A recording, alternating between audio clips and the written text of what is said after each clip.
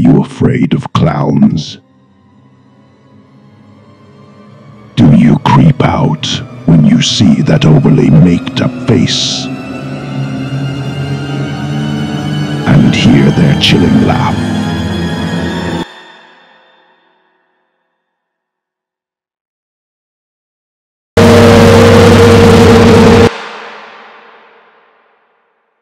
I'm sorry for frightening you. Now, where was I?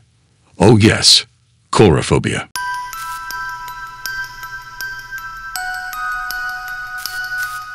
Coulrophobia, or the fear of clowns, is more than just a mere joke.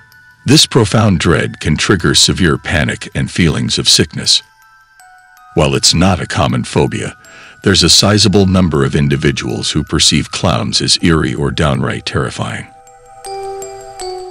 What's the reason behind this?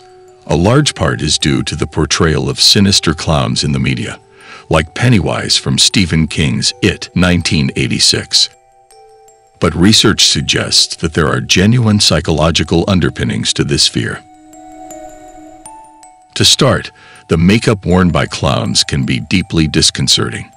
It not only conceals the individual's true face, but also their emotions. The confusion intensifies when, for instance, a clown's painted smile conflicts with a real-life frown. Furthermore, the exaggerated facial features created by the makeup make the face appear human yet slightly askew. This strangeness is amplified by the clown's unconventional attire. Their unpredictable and mischievous behavior further unsettles people. Will they surprise you with a spray of water or offer you a flower? These inherent feelings of unease are further amplified by the negative representation of clowns in media. Some argue that the portrayal of the malevolent clown was cemented by the 1970s American serial killer, John Wayne Gacy, who would perform as Pogo the Clown at various events. His sinister depiction soon became a staple in horror films and literature. Thus, it's perhaps not a shock that a survey in 2016 revealed Americans feared clowns more than terrorist threats or even death. Why do clowns evoke feelings of discomfort? Several psychologists suggest that the anxiety arises partially from our inability to interpret genuine emotions on a clown's visage.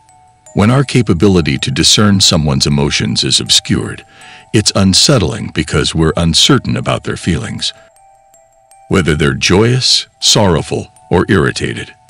This makes it challenging to anticipate their actions or know how to respond, describes a child anxiety specialist from the Child Mind Institute.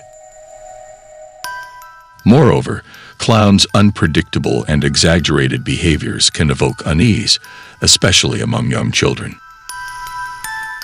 Children often develop a fear of clowns at an early age, sometimes as young as four or five. Imagine a young child attending a birthday celebration, unprepared by their parents, only to be confronted by an oddly dressed individual with an exaggerated appearance and eccentric behavior.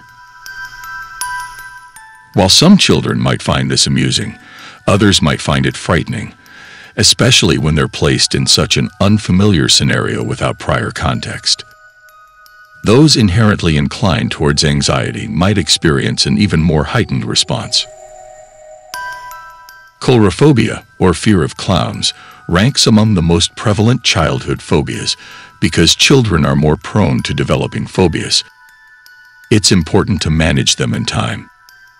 This can prevent the phobia from getting worse.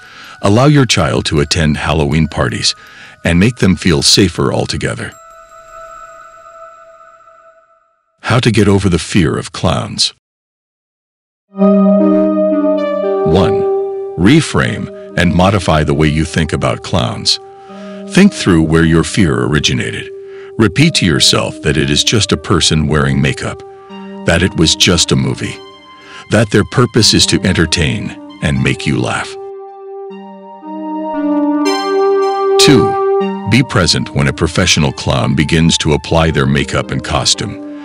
Let yourself visually see that what's below the surface is truly human. 3. Expose yourself to clowns slowly, such as looking at photos of clowns online until your fear at the sight of one begins to lessen. 4. Go to a circus or production where you can have a seat far enough away that you can look at the object of your fear from afar and recognize that it can do nothing to harm you. And that ends our pre-Halloween topic. Thank you so much for tuning into today's episode on the eerie world of scary clowns and the fascinating phenomenon of coulrophobia. You've ever felt that unsettling shiver down your spine at the sight of a clown, or wondered why these seemingly joyful figures ignite fear in so many, you're not alone. Please consider hitting that subscribe button and give us a like and ring that notification bell so you don't miss out on more spine-tingling deep dives into our world's most intriguing mysteries. And remember, you can always leave your comments and suggestions down below.